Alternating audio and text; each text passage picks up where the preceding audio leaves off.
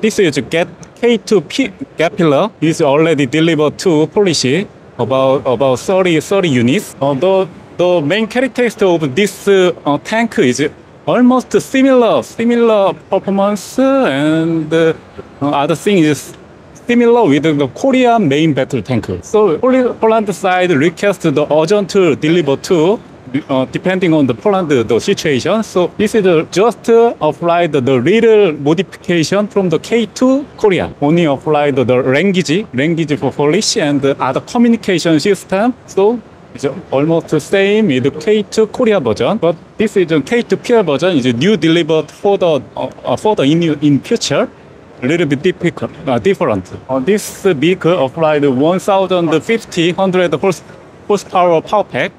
It's almost similar with the Leopard A7, but uh, as you can see, the uh, vehicle axis is only six, but the Leopard A7 is seven seven axis. So the K2 Gap Filler Ampere is a little bit uh, the lower weight uh, than, than K2 Leopard. We uh, enhanced the armor protection. It will be enhanced uh, compared to K2 Gap Filler and applied the high-tech technology such as 액티브 프로텍션 CS 다음에 리모트 컨트롤드 웨폰 스테이션, 어, 드론 제머.